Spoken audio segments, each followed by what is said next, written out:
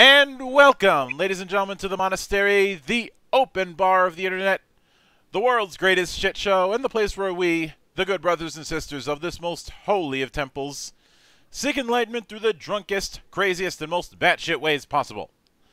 I am your one and only gaming monk, better known as Mildra, and with me I have a returning good brother to the temple, coming to us all the way from Feral Games, creators of Ghost creators of Ghost Ops, which is now entering its second edition or second strike, if you will.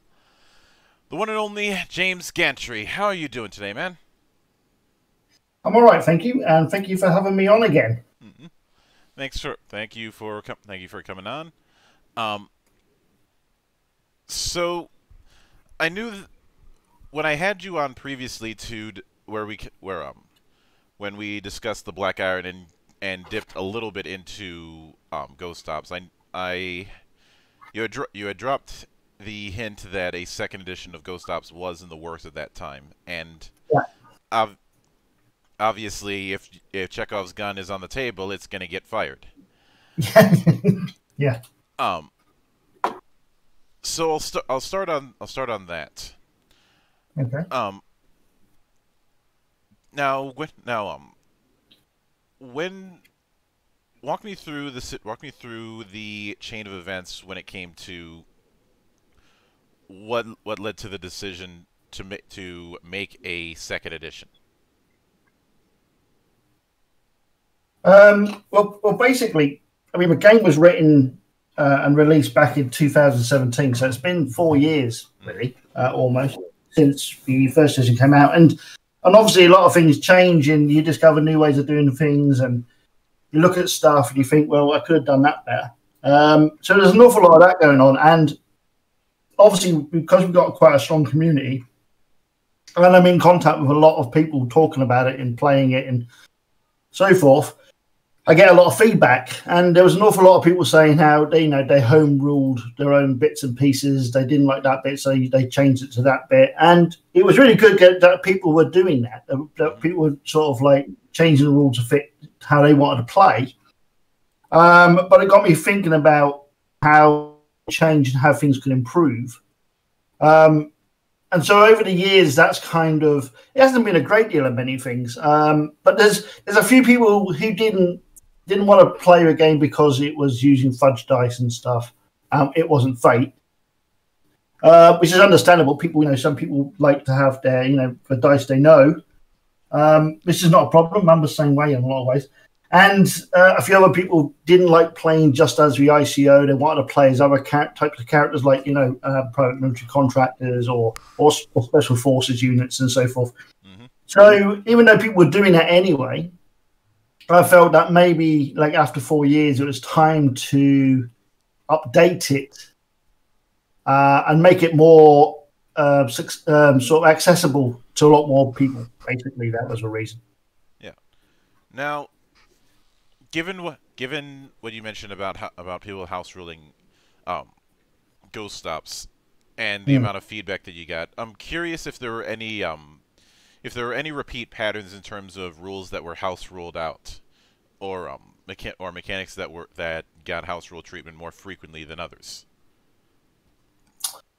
Um, there was nothing in particular that stood out. I mean, it was just little things, really. I mean, somebody had changed the rules to um, how hand-to-hand combat worked. Uh, they'd kind of done that, and they'd also posted up a solution in the group so other people could use it as well. And there was a lot of that going on where people were sort of saying, "Oh, well, I'm doing this, and this is the rule I'm using for it." Mm-hmm. And um, but it wasn't one thing particularly. I mean, I, I think a lot of people said they they never played as the ICO. That was the one thing that stood out among other things. That the re- I realized at that point that maybe I needed to give more options in that area. Uh, but otherwise, no. I mean, there wasn't one particular thing. I mean, most of it was everybody liked. It was just the odd little thing, like um, as I said, one person took a hand-to-hand combat, or another person added some extra rules for um, biological and radioactive uh, um, dealing with that kind of uh, material in the game. Um, but generally speaking, people people kind of like majority of it. Just it was just the odd things here and there, and a lot of that stuff I kind of added to the expanded rule books that were released. Um, over the last well over the last few years, uh, where we I added more rules and gave more options, so you could play sort of like um, agents, so you could play ex federal agents, ex NSA, ex DEA, and that sort of thing. Um, so all of that kind of was incorporated. A lot of the things what people said. I think somebody mentioned. No person mentioned using shields, ballistic shields, and stuff, and there's a whole talk about how they would work. So, so it's just little things, really. Um, but after four years, I just felt that maybe it was time to update. Really. Now, was kind of it. Mm-hmm. Now, within this within this second edition of Ghost Ops, um, mm. do you do you consider do you consider it more uh, do you consider the focus more on clarification or more on um, more on more on bringing in new changes to the sandbox? i.e., i.e., how, i.e., do you consider it to lean a little bit on the realm of a director's cut?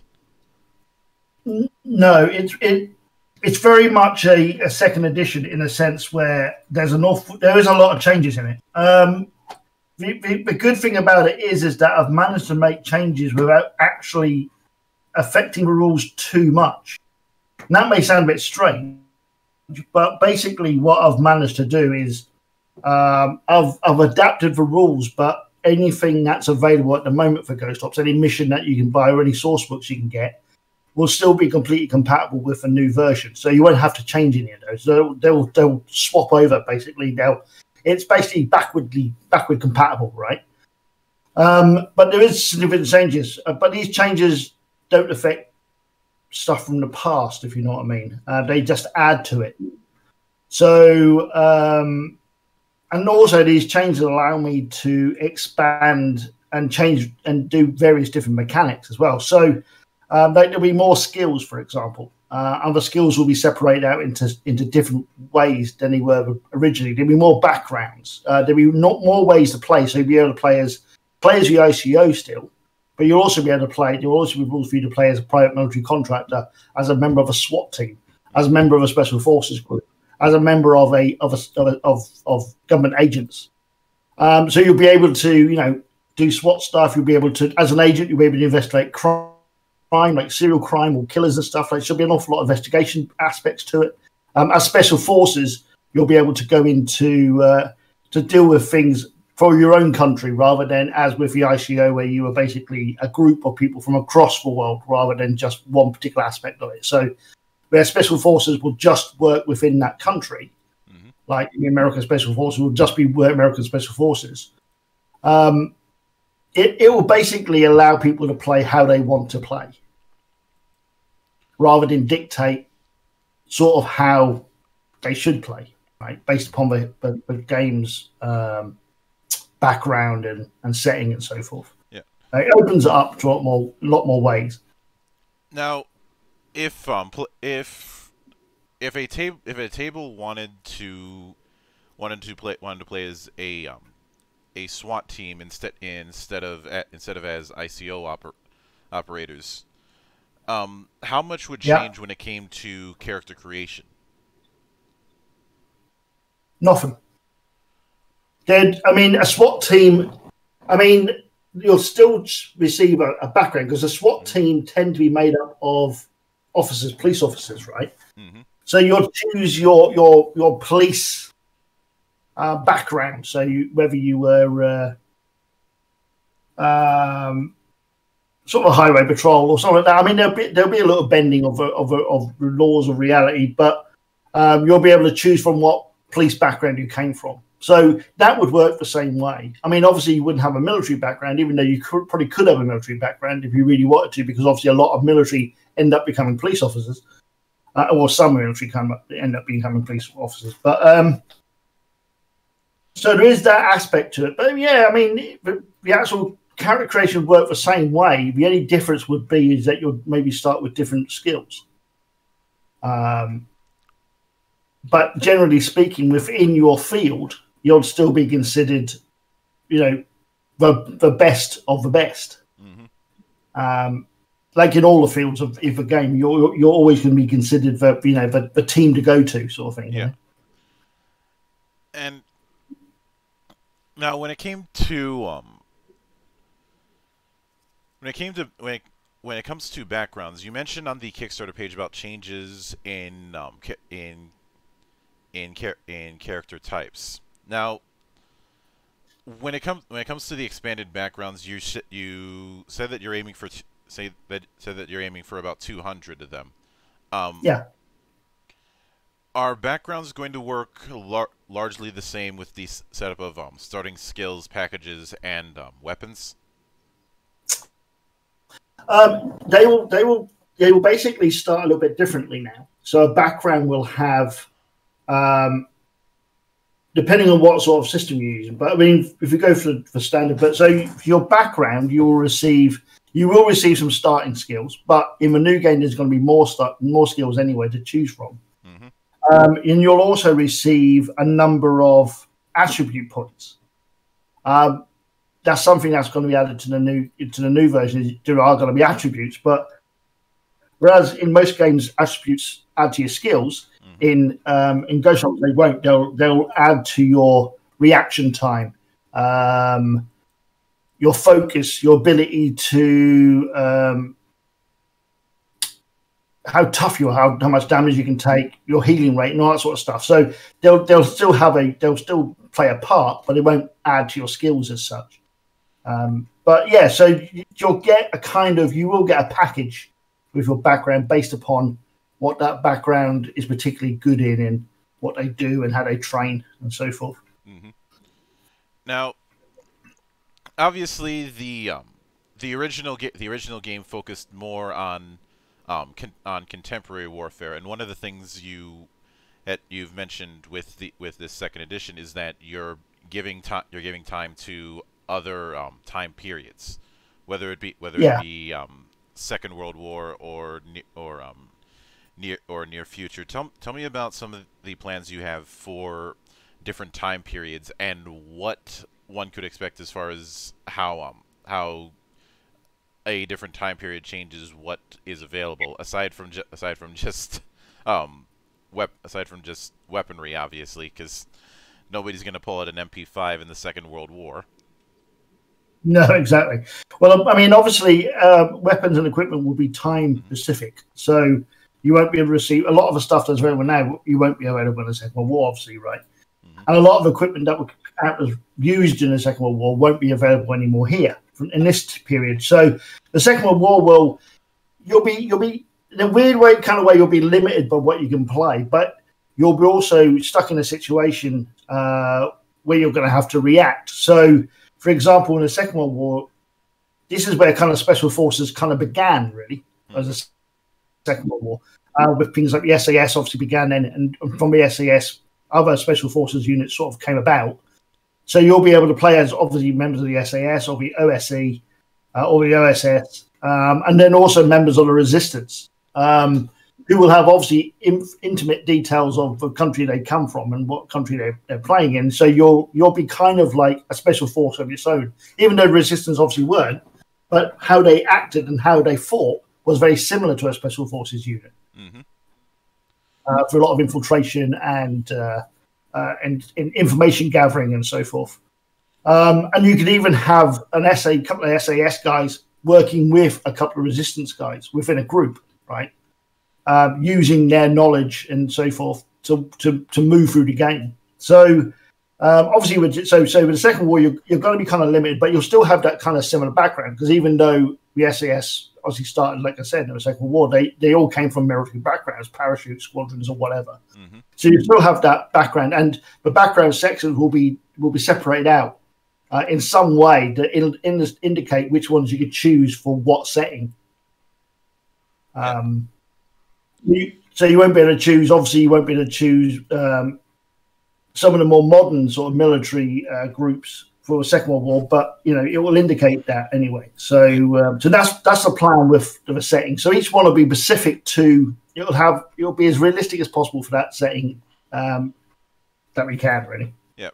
Now, when it comes to near future, when it, um, the idea the idea of of future war of future warfare and a lot of um, a lot of a lot of military settings when it when it comes to games is a scub topic at at, at, at times, and I'm curious and when I when I saw that, I meet I um, I immediately remembered how um, controversial Cyberpunk Third Edition was for how for how far it went with its um attitude about futurism in places.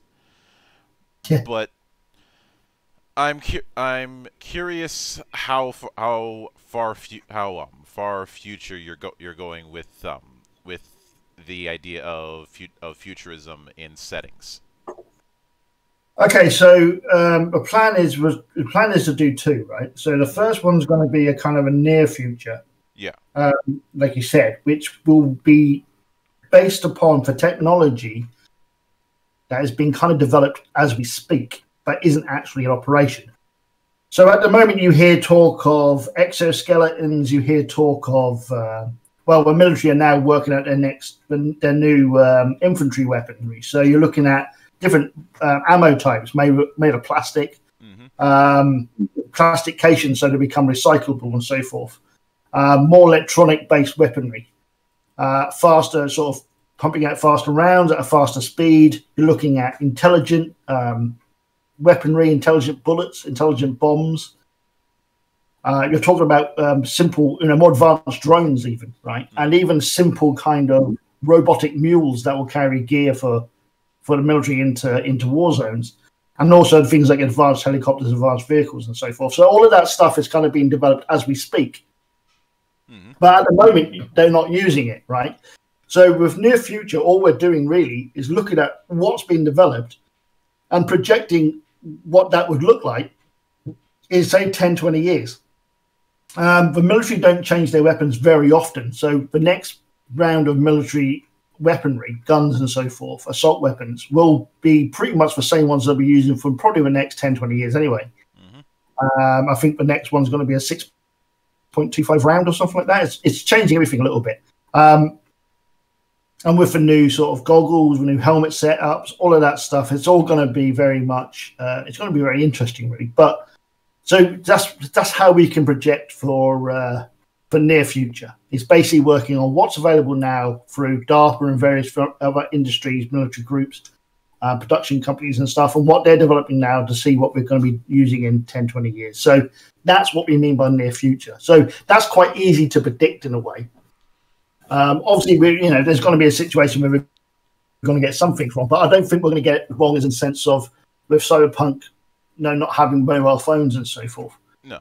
Um, uh, because we can predict it. I mean, things like um, the public sector is a lot harder to predict than the military sector because the military sector tends to sort of illustrate what it's going to be doing.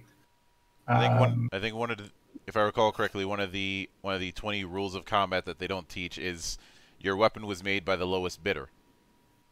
yeah, yeah, yeah, yeah. And I've been kind of following the bidding process uh, various people have had with the military weaponry, SIG Sauer and uh, and Koch and all that sort of stuff. So I've been kind of following all of that along over the last few, you know, last year or so when it all sort of started coming out.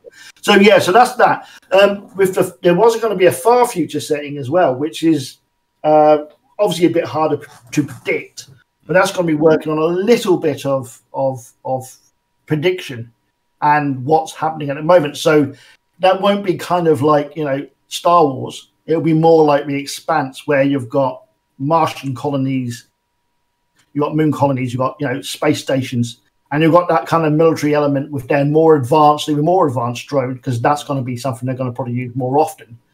And then you're going to have you know uh, exoskeletons will still be around, and but they'll be more advanced than they are you know when they're released, and so and it'll just be an advancement of what already is out there.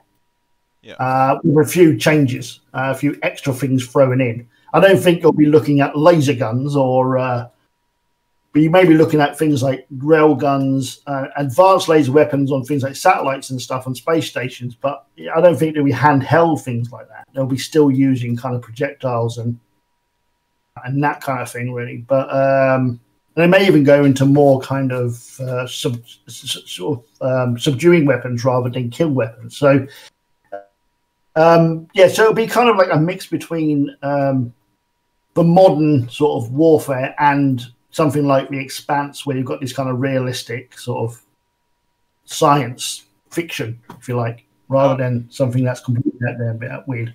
Yeah, I can I can get that.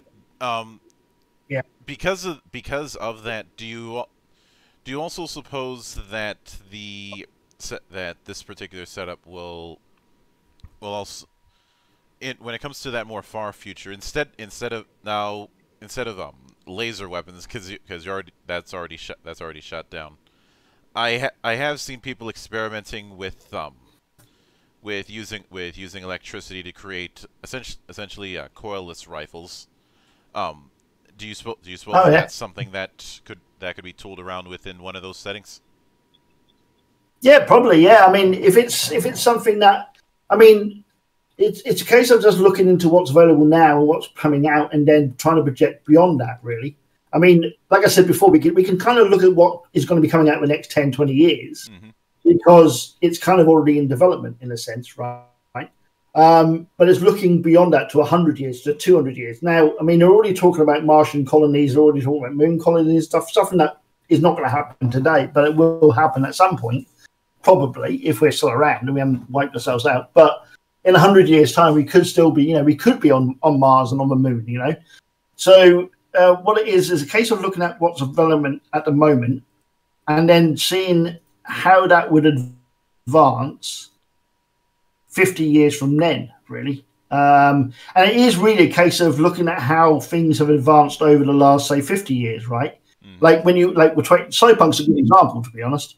So, Cyberpunk, when that was written back in 80s, 85, I think it was, um, and they projected that, you know, all this stuff coming up in, in, in 2020, right?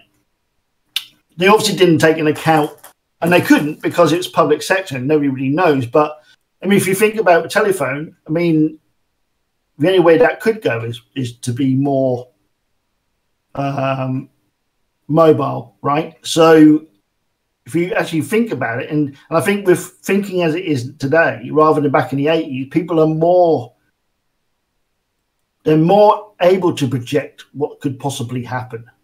Mm-hmm. Because at the moment, things don't seem to be coming out new. They just seem to be coming out either smaller or advanced, right? You look at look at the Apple phone, for example. That hasn't really changed over the last twenty years. It's just got smaller and got a bigger camera, and it's just more compact, right? And it's got a few more things thrown. it. And even cars don't really haven't really changed. They're still combustion engines. Do you mean so? Mm-hmm. It's a case of looking at something and thinking, well, how will that project? You know, in the future, and how much will it change, and how much will it need to change? You know? Yeah.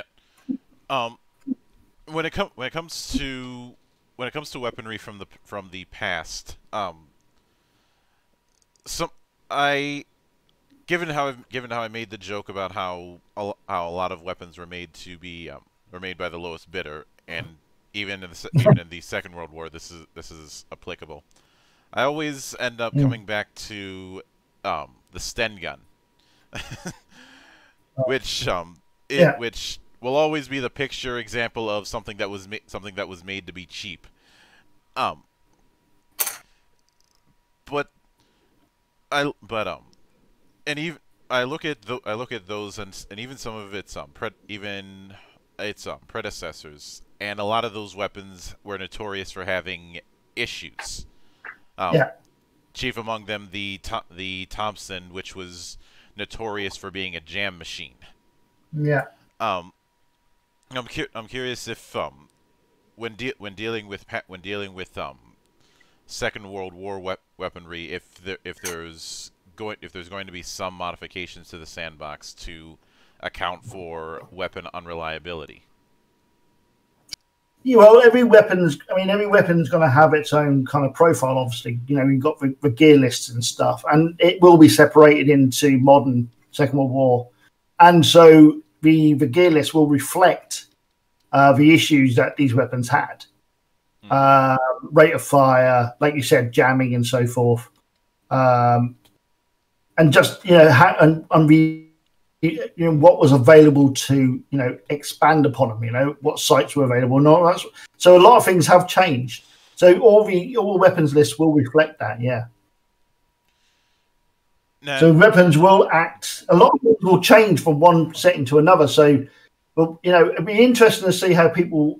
I mean, people. Some people probably just play World War Two or play Vietnam or or, or just those things completely and nothing else, right? Mm-hmm. But those people who switch from one era to the next, especially going backwards, will will probably find a lot of difference in how they they they play because obviously they've got to take into account how things were different then. How they didn't have certain gear and how the weapons weren't as reliable or um, they may not have been as their their uh, their firepower may not have been as, as, you know as powerful if you like. Um, and in fact, they didn't have as much protection like body armors and so forth.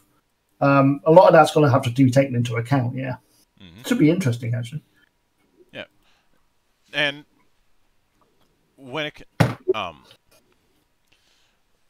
when it comes to now, you've talked now. Um, you also talk about making co making combat faster. Um, what especially with some of the new weapon and armor rules. Now, were there were there instances?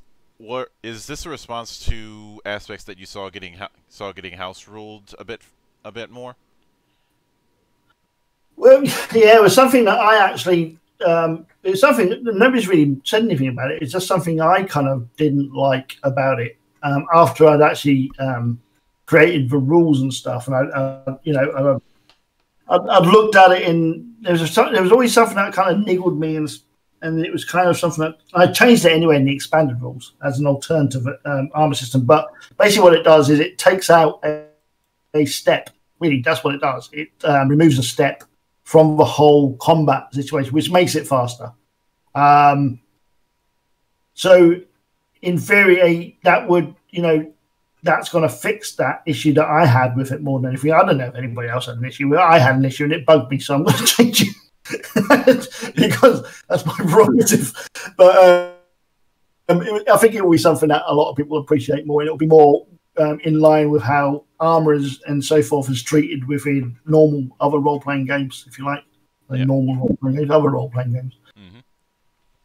And I know now when it's now um obviously it's obviously it's still using the Feral engine, which me- which means that it's it's still there's still going to be the option for the for the use of fudge dice for those who want for those who want it, but yeah. Um, what was the impetus for adding a 2d6 or a percentile um, rule set as well? Well, um, well, basically, over the years, people have kind of said, "Are you going to do it for this system? Are you going to do it for that system?" Are you going to... And I get this a lot with all my games. Really, people mm-hmm. people like the concepts, but they often don't like the system, right? And I mean, everybody kind of does it. I mean, you know, I'll look at a game and think, "Oh, it's a brute looking game," and then I'll see the system and don't want to play because I don't like that particular system, right?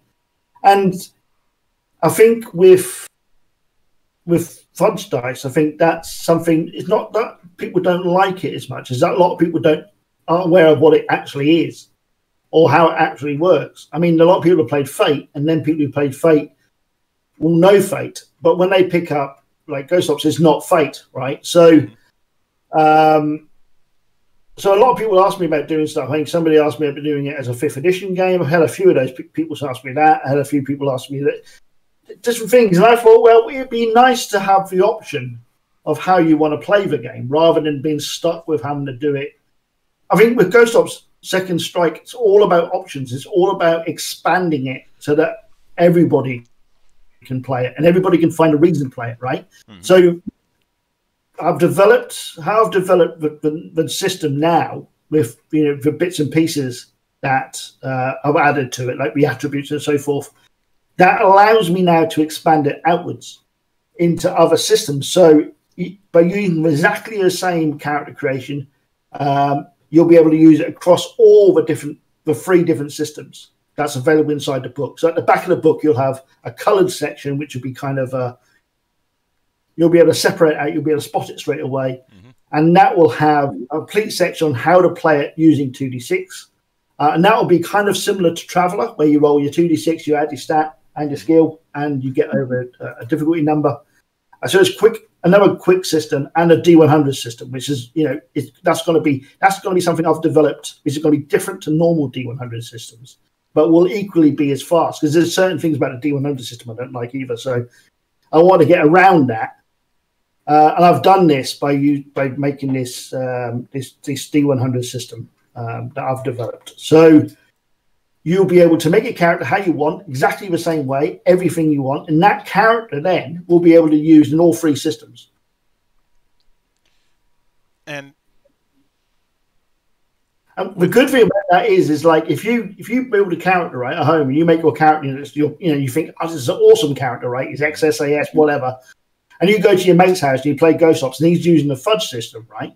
You'll be able to play the character with the fudge system, and then the next day, you you know, you, you've got another mate who's going, oh, come over play Ghost Ops. So you go to his house, but he's using a two D six system, but you'll be able to use exactly the same character and just move it into that system without any change to the character. I all right, I gotcha.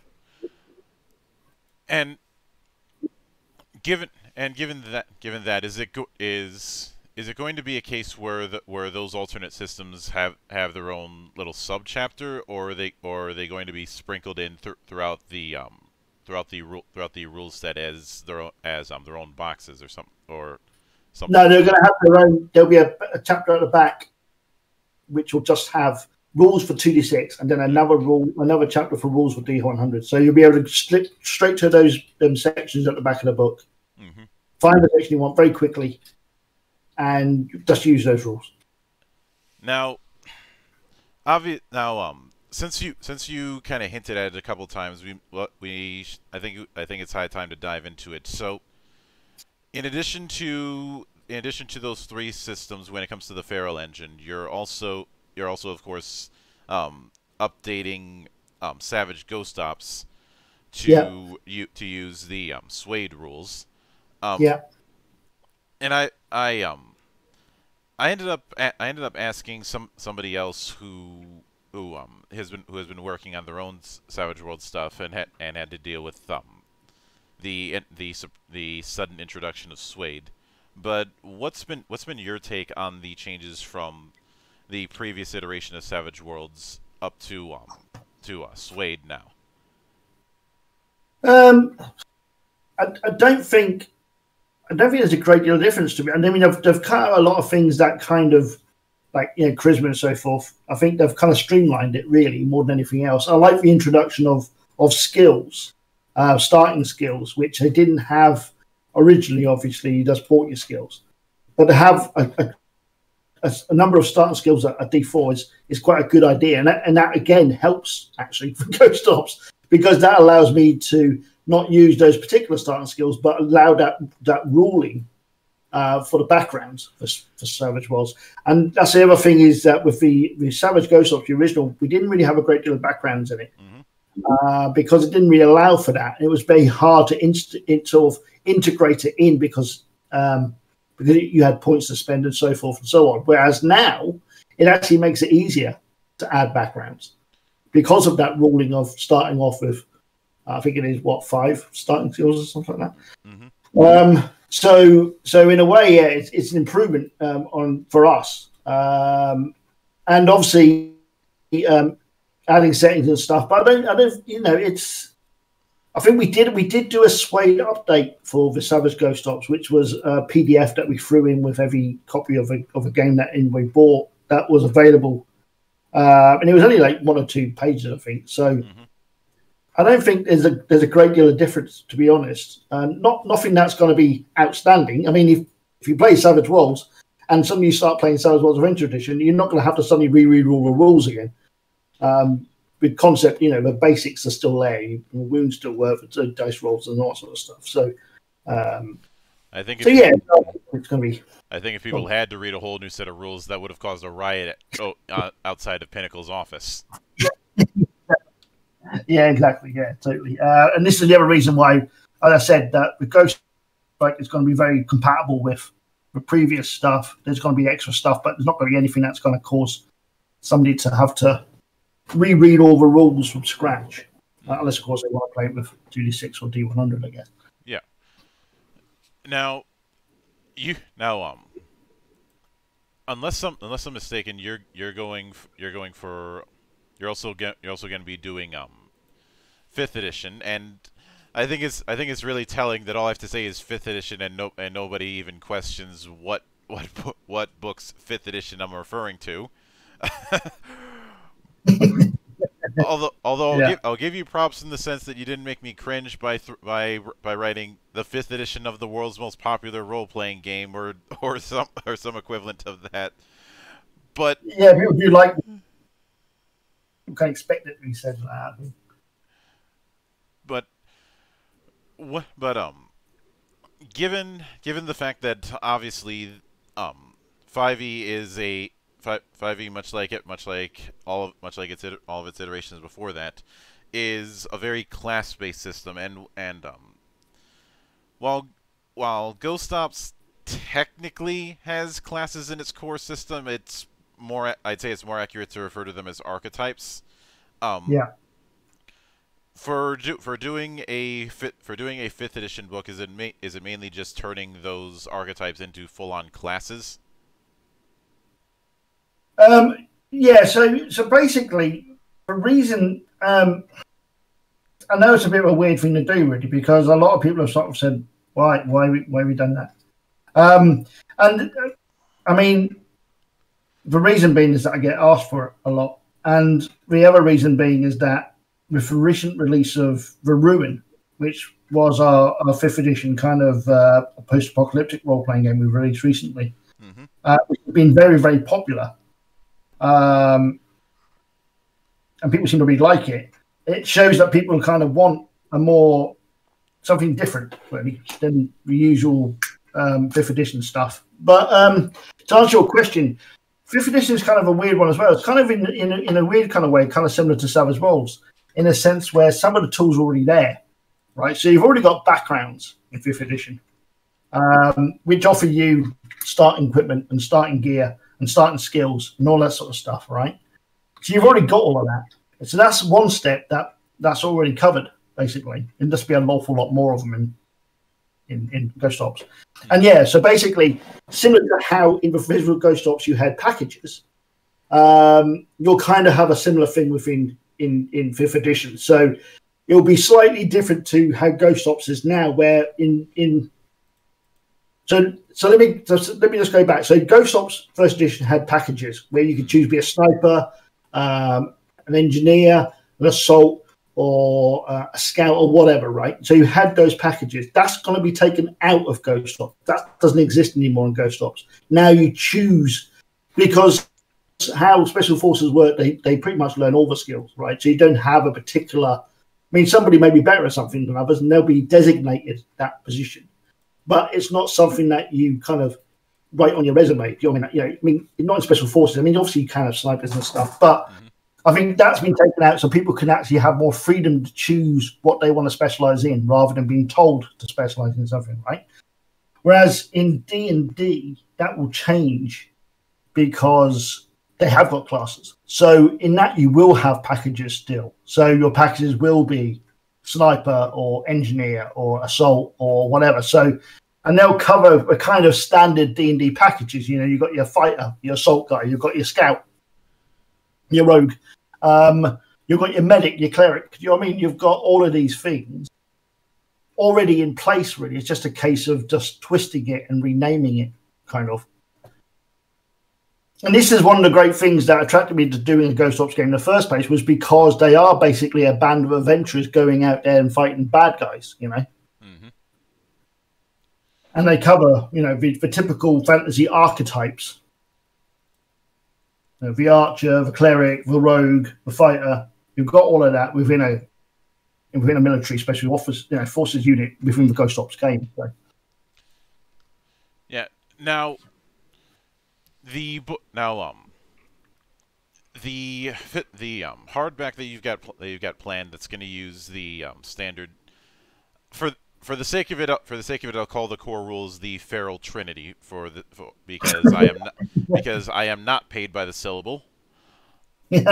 Um and that that's going to be about that's going to be you've you stated that that's going to be about 300 about 300 300 pages in in a standard format um, yeah,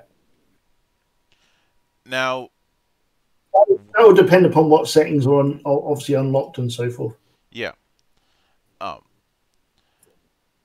And when it com- when it comes to when it com- when it comes to the when it came to when it came to the layouts, um, mm. I think I I think I hinted at this when I covered um, the first edition, but the the um, the la- the layout, especially especially with text and the like, had a, had, was very reminiscent of um of some of some th- of some 3.x documents that I that I had seen. And is the is the page layout going to be going to be largely similar in this new edition? No, I think with with smaller books, with a six by nine book, which is what the original Ghost Ops was in, it allows you to do a kind of single column um, layout a lot easier because obviously your eyes um, have a smaller area to cover, right? Mm-hmm. Whereas in larger books, the new book's going to be the standard uh, eight and a half by eleven um, US letter size. So that you know, the same size as your D and D books and all the other books. It's going to be that size. So that's going to be now a new a, a, a two column layout. Um, so it will be different in that sense. So uh, so yeah, it will be a different layout. All right, and with it, and with it, and of course within that, you had I had also noticed um, you had mentioned that you're gonna be get you're gonna be getting a a um a bunch of new a bunch of new artwork. Um, yeah.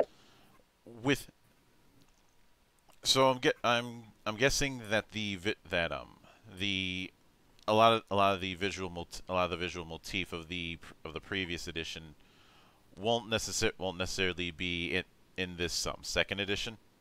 No, no, it's going to change completely. Um, we did a we did a poll actually on uh, on the group uh, about what kind of thing they would like to see artwork wise for the second edition. And this is going back now a year and a half ago. I think I did this. Mm-hmm. Um, basically asking people what they wanted because um, when I did obviously the two when I did the first edition with the artwork, so I didn't have a great deal of money, and I, I, still don't have a great deal of money. But at the time, I didn't have it, so you kind of have to go with what you've got, really, mm-hmm. what you can afford. And um, even though the artwork, a lot of the artwork for Ghost Ops, I kind of liked, there were some elements I didn't like, and I don't think a game like Ghost Ops, which is quite in in a way, it's not as fantastical, obviously, as as um, as D and D or any other game. It's more kind of down to earth, a bit more realistic, and it kind of kind of covers realistic themes. And it kind of needed the artwork that would represent that and show it, right? So when I did the poll on the group, I asked them what kind of thing they'd want to have, and basically the majority said they'd rather have uh, a kind of photographs uh, and that kind of imagery rather than have artwork. Um, so that's kind of how we're going. So the artwork on the the Kickstarter page is kind of going to be pretty much the similar kind of artwork that's going to be throughout the book. So it's going so it's going to be lean it's going to lean more on photos than on um, art pieces. Yeah. Except for things like maps and stuff, so forth, there'll be a lot that'll. all. But generally speaking, yeah, it'll lean on, on kind of realistic imagery than artistic um, representations of it. Mainly because uh, it's very hard to find people to do that kind of artwork, to be honest, in a way that actually reflects it in a realistic manner. So. Now, when now um, when it came to now when it comes to some of the um, when it comes to some when it comes to some some of the um when it came to some of the macro goals that you that you had had when it especially especially with um things like extra missions and the like I'm curious what the what what is meant by the act the activity so reactivity. activity, um, they're, a, they're, a, they're, special forces unit in America. Um, not many people know they exist, though. This is the, uh, where, it, where it gets kind of interesting with the activity. So the activity was kind of started in the 80s after a failed mission to um, rescue some hostages from an Iranian embassy. Hmm. Um, because of the fact that many of the uh, agencies and so forth were not working together very well. And um, at the time, the people who were kind of coordinating it, uh, one of the guys who had worked closely with the SAS um, had decided that they needed something, and they needed something to improve, really, because otherwise this is going to keep on messing up and stuff. Mm-hmm. So, um, long story short, this all boiled down to a group called the Activity, who were kind of a uh, um, yeah, super secret. They were kind of a super secret um, special forces unit. I mean, nobody knew they even existed up until ten or so years ago, um, and they would deny all knowledge of them existing if anybody ever mentioned it. And I think, I mean, I read a book about the activity, and the the author was even told people were told not to talk to him about it um, because it is still top secret, and they do all the missions that a lot of people don't know about. Uh, they're like they're like dark dark black ops. You know, they're like the blackest black ops. You know, mm-hmm. um, and I know that when I mentioned that as one of the options that they could play as, a lot of a lot of people, especially in um, the military and the intelligence services that we have in our group and things, um, were kind of very excited by that prospect uh, because they are an interesting element um, of the special forces of the world, really. Um, so yeah, so that's what the uh, the activity are. Mm-hmm. And now, now, um, given the given the um, given the setup that you have that you have, um, like presume presuming that now you get you have it you have it set up at um at current currently it's getting I'd say it's a little less than 500 away from hitting um, 8,000 pounds. And yeah, with with about eight with about eight days to go. Um, yeah. What are you, what are you shooting for as far as a release window? Are you thinking er, are you thinking um, early fall for the um, digital version? Um, well, I'm hoping that basically um, the, the printing of the book takes around two months uh, because again, it printed. Unlike Ghost Ops, it's not going to be a print on demand. Um, it's actually going to go to a printer and um, be be very nicely printed, properly uh, stitched and all sorts. So, and that takes around two months um, to have that done. So, um, with the release of the hardback being around October, I'm hoping, you know, based upon whether obviously pandemics end and all this other stuff goes stops happening. Um, with release window October, then two months before that, which would be August, September time, we'd be releasing the PDF. Because once the PDF's done and it's sent off to the printers, there's no stopping us from releasing it to the backers because obviously it's the same same uh, document basically, except with a, a cover on it. So yeah, and so I I will and um in the interest of full disclosure, I will I will note that I I I slept I um slapped down twenty pounds on the, on the thing. Yeah, yeah, I saw that. Yeah, thank you very um, much. And I and I'll cer- I'll certainly be looking forward to seeing how, to seeing how the, how this how it develops in the, in this regard. But with all, yeah. with all that said, I do want to sincerely thank you for taking the time out of your schedule to come to come back up to the temple and enjoy the insanity at play here. no, it's always good. I always uh, I'm always happy to come on and talk. And eh, as I often say around here, drinking is not mandatory, but it is encouraged. and of course, yeah. Ace. Go ahead.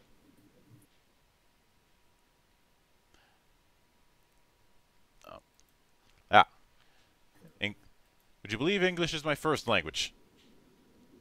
yeah. Uh, yeah. And of course, a sincere thanks goes out to everyone who took the time out of their schedule to come onto the show and enjoy the madness. And there will be plenty more where that came from, as there always is here on the open bar of the internet. But until then, on behalf of the good brothers present and not present, my name is Mildra. I am your gaming monk. Stay fucking frosty, everybody.